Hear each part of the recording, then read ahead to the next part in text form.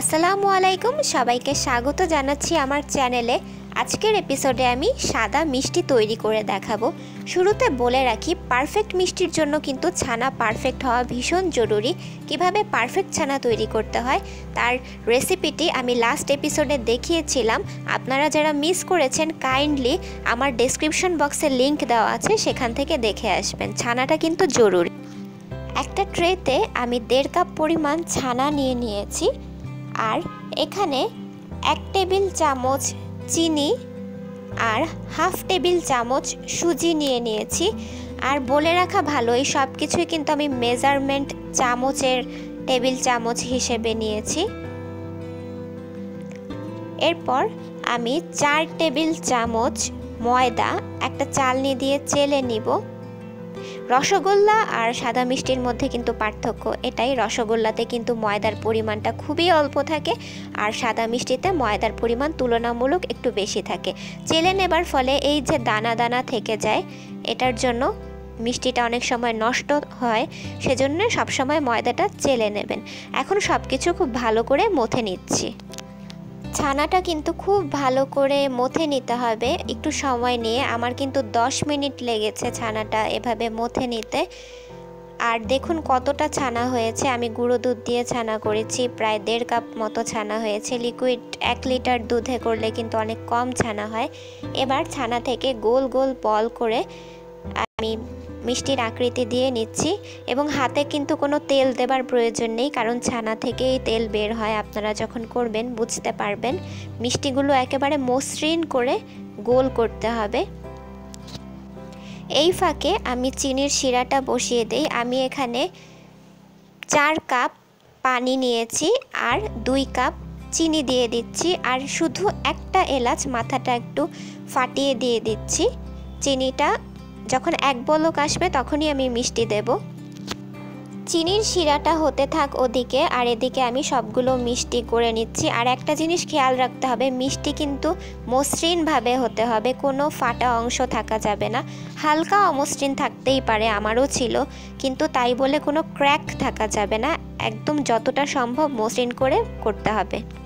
মিষ্টিতে যদি কোনো ক্র্যাক থাকে, তাহলে কিন্তু শিরাতে দেবার সাথে সাথেই মিষ্টিগুলো ভেঙে যাবে, তাই কোনো ফাটা অংশ থাকা যাবে না।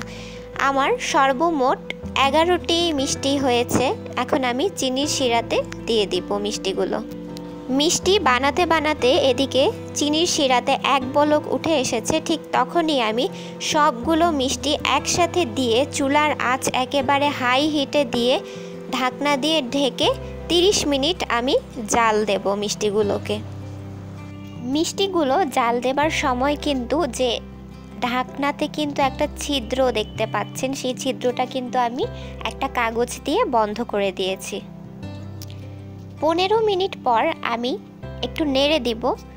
দেখুন কতটা সুন্দর হয়েছে মিষ্টিগুলো। একেবারে ফুলে উঠেছে, একদম বড় হয়ে গেছে, দ্বিগুণভাবে ফুলেছে। এখন আমি একটু নেড়ে দিচ্ছি। হালকা করে। আর মিষ্টি নাড়ার সময় কিন্তু অবশ্যই কাঠের চামচ ব্যবহার করতে হবে, এটা একদম মনে রাখবেন। খুবই আলতো হাতে সাবধানে মিষ্টিগুলোকে আমি উল্টে দিচ্ছি, কারণ এই স্টেজে মিষ্টিগুলো কিন্তু একেবারে সফট থাকে, তাই ভেঙে যাওয়ার চান্স আছে অনেক। সেজন্য খুবই আলতো করে উল্টে দিতে হবে। এরপর আমি ঢাকনা দিয়ে ঢেকে আরও পনেরো মিনিট চাল দিব।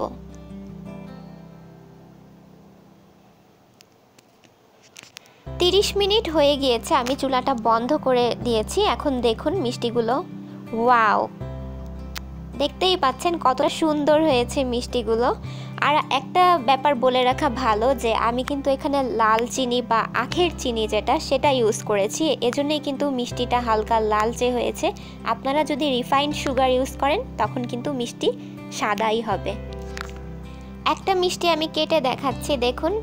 এটা কিন্তু একেবারে হার্ড হয়ে যায়নি। সাদা মিষ্টি যেরকম সফট হয় সেরকমই হয়েছে। একেবারে পারফেক্ট যেটা। আর টেস্ট তো অবিকল দোকানের মতোই। আপনারা যদি আমার স্টেপগুলো ফলো করে মিষ্টি বানান, তাহলে ঠিক আমার মতোই মিষ্টিগুলো হবে। তৈরি হয়ে গেল আমার পারফেক্ট সাদা মিষ্টি। এই মিষ্টিগুলো কিন্তু রুম টেম্পারেচারে এনে ফ্রেশ খাওয়াটাই আমার কাছে বেশি ভালো লাগে। কারণ ফ্রিজে রাখার পর কিন্তু হালকা একটু হার্ড হয়ে যায়। সেটা কিন্তু দোকানের মিষ্টির ক্ষেত্রেও সত্য। কারণ দোকানের মিষ্টিও কিন্তু ফ্রিজে রাখলে দেখবেন যে আগের মতো অতটাও সফট থাকে না। একটু হলেও কিন্তু টেনে যায়। তো যাই হোক, আজকের এপিসোড এই পর্যন্তই ছিল। যদি ভালো লেগে থাকে আমার চ্যানেলটি অবশ্যই সাবস্ক্রাইব করে নেবেন। নতুন নতুন রেসিপি নিয়ে সামনে আবারও হাজির হয়ে যাব। সেই পর্যন্ত সবাই ভালো থাকুন, দোয়া করবেন। আল্লাহ হাফেজ।